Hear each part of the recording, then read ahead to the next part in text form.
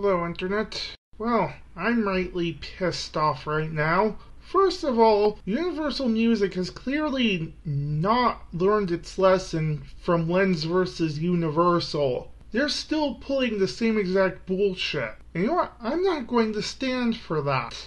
I'm going to find a lawyer who can represent me in taking Universal on because they removed one of my videos without even remotely considering fair use and Google seems to be conspiring with them because the, the counter notification part of their website is apparently broken whenever I try to contest Universal's claim. So there's clearly some shady business going on here.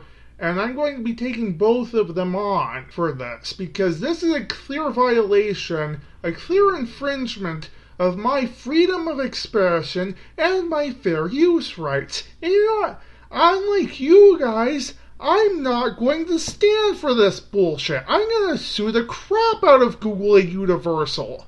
Because sitting on my butt complaining about it isn't going to do anything. So I need a lawyer for this. So if you know a lawyer who can help me out with this, please let me know. Also, I'm going to be taking on Dailymotion and Toei Animation because they have removed one, uh, two of my videos, well, one each. Toei has removed a video that has nothing to do with animation, but rather their Tokusatsu series, which is under the jurisdiction of Toei's main branch not Toei Animation. So I, don't know if Toei Animation actually has the rights to do this, but I can assure you this is still a violation of freedom of expression and a violation of fair use. Furthermore, Dailymotion has removed one of my videos without a DMCA claim. Now, I know that there's a safe harbor issue, but YouTube got away with that when Universal sued them.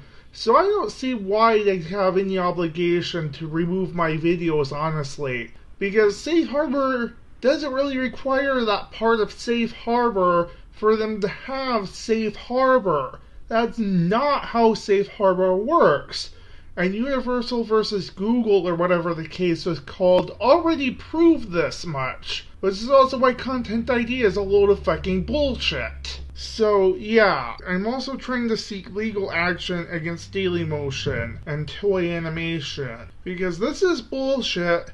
I'm not gonna stand for this. So, again, if you know a lawyer who can help me out here, please let me know.